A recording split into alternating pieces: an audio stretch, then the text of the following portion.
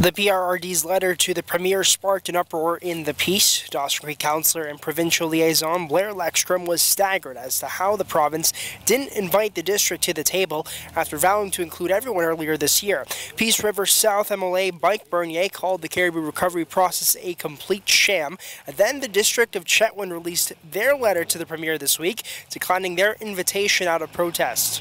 All of that culminating to today, with a press release confirming the government will be moving ahead with the leadership table, including a representative from the PRRD. This after Premier Horgan met with the chiefs of the Saulteau and West Moberly First Nations Wednesday discussing how they can move forward.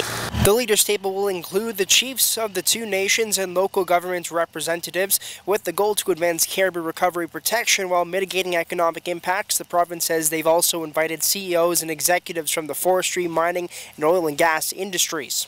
When CJDC reached out to chair of the PRRD, Brad Sperling, he wrote in a text saying that they haven't received an official invitation. However, he did say that he's taking this as a positive step. Meanwhile, the government says they're going to be reaching out to groups over the next few days to schedule a meeting. Uh, that meeting is expected to take place sometime at the end of this month. Christian D'Avino, CJDC TV News. Salon and barber services provided by Skinovations. Be swept away to a world of peace and tranquility tranquility at Skinovations Salon and Day Spa.